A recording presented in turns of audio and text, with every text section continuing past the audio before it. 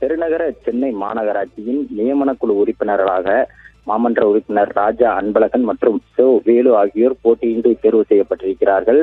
நேற்று மண்டல தலைவர்கள் மற்றும் நிலைக்குழு உறுப்பினர்களுக்கான அந்த மறைமுக தேர்தல் என்பது நடைபெற்றிருந்தது. இன்று காலை ஒன்பது முப்பது மணிக்கு தேர்தல் நடத்தும் அதிகாரி ககன்தீப் சிங் பேடி தலைமையில் நடைபெற்ற இந்த மறைமுக தேர்தலில் நியமன குழு உறுப்பினர்களுக்கான அந்த மறைமுக தேர்தல் நடைபெற்றது. இதில் திமுகவை சேர்ந்த இருவர் வேட்புமனு தாக்கல் செய்திருந்தனர். அவர்களை எதிர்த்து வேறு யாரும் வேட்புமனு தாக்கல் செய்யாததால் அஹ், திமுகவை சேர்ந்த ராஜா அன்பழகன் மற்றும் சோ வேலு ஆகியோர் போட்டியின்றி தேர்வு செய்யப்பட்டதாக அறிவிக்கப்பட்டனர்.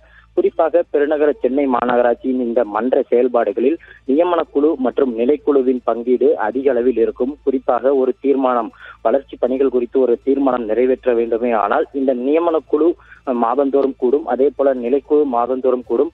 அதில் எடுக்கப்படக்கூடிய முடிவின் அடிப்படையில் அது தீர்மானமாக முன்வைக்கப்பட்டு மன்றத்தில் விவாதிக்கப்பட்ட பின்னரே அந்த தீர்மானம் நிறைவேற்றப்பட்டு அதற்கான அடுத்த கட்ட நடவடிக்கைகள் என்பது மேற்கொள்ளப்படும். இந்த நியமன குழுவை பொறுத்தவரையில் நான்கு நபர்கள் இருப்பார்கள். தலைவர் மேயரை தலைவராக கொண்டு செயல்படக்கூடிய இந்த நியமன குழுவில் அலுவல் உறுப்பினராக ஆணையர் இருப்பார். அதே போல இரண்டு தேர்ந்தெடுக்கப்பட்ட பிரதிநிதிகள் இருப்பார்கள். அந்த தேர்ந்தெடுக்கப்பட்ட இரண்டு பிரதிநிதிகளுக்கான மறைமுக தேர்தல் என்றுதான் இதுதான் நடைபெற்றது. அதில் திமுகவை சேர்ந்த இருவரும் போட்டியின்றி தேர்வு செய்யப்பட்டிருக்கிறார்கள். இந்த நியமனக்குழு கூட்டம் என்பது மாதந்தோறும் நடைபெற இருக்கிறது.